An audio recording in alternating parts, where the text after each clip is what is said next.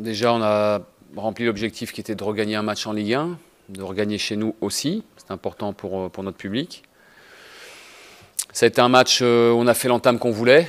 On a marqué très très vite. Et c'est peut-être ça qui nous a fait relâcher le, pressing qu'on voulait mettre d'entrée de jeu. On a été, je pense, soulagé de marquer très vite et, content de marquer aussi vite. Après, ça a été un match très indécis. Euh, Toulouse a, nous a maintenus sous pression toute la première mi-temps.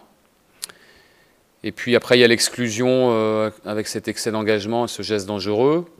Il se retrouve à 10 et c'est différent. Alors, euh, c'est vrai que sur la deuxième mi-temps, on peut se reprocher de ne pas avoir breaké, de ne pas avoir accentué le score parce qu'on a eu un nombre incalculable de, ballons, enfin d'occasions nettes pour, marquer, pour euh, passer à deux, voire plus. Et on n'a pas été capable de le faire.